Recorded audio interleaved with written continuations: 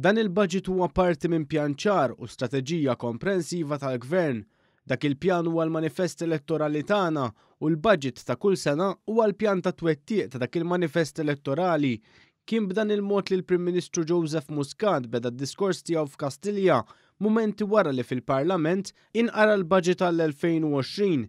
Bid-Deputat Prim Ministru u l-Ministru tal-Finanzi fuq ix-xellug u l-lemin tiegħu, il-Prim Ministru Joseph Muscat innota li l-pjan ta' twettiq huwa mibni fuq tliet pilastri ewlenin. Spjega kif il-170 miżura tal-Budget huma mmirati biex jippremjaw il-bżulija tal-familji biex jiġu megħjuna dawk l-aktar fil-bżonn u biex jixprunaw is-sostenibbiltà, miżuri li fi kliemu se jibqgħu jitgawdew mill-poplu Malti u Għawdxi fis-snin li ġejjin. Filwaqt li elenka bosta miżuri li se jagħmlu dan, Dottor Muscat semma lill-anzjani li ħadu l-akbar żieda fil-pensjoni tagħhom f'dawn l-aħħar 40 sena.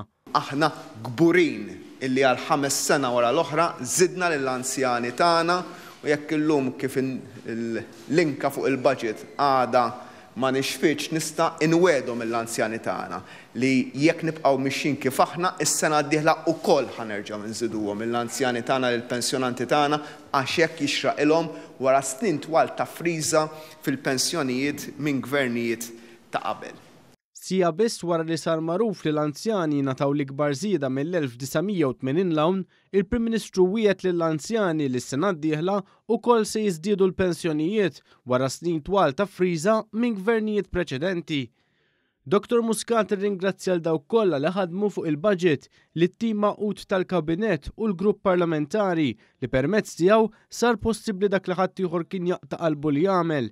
Fi tmiem id-diskors tiegħu f'Kastilja, il-Prim Ministru kien skjett meta wieġeb mistoqsija ta' ġurnalist jekk dan huwiex l-aħħar Budget tiegħu. Is this your last Budget as Prime Minister? No.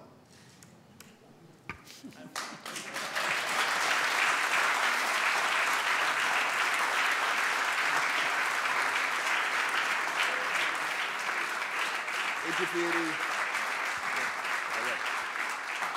Ġifieri jekk taħseb li qassamna ħafna issa x'dan l-aħħar wieħed trid tara li ġejt, ha!